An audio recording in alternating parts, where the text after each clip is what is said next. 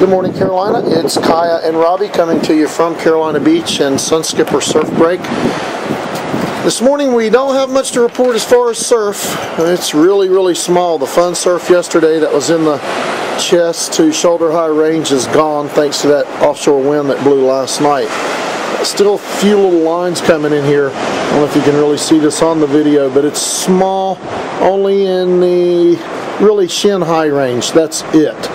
High tide, so it's not breaking, it's too deep.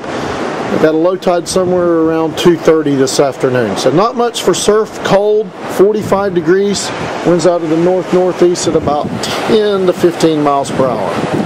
That's it from Carolina Beach this morning. We'll be back with another update tomorrow or this afternoon if conditions change. Have a great day, Carolina.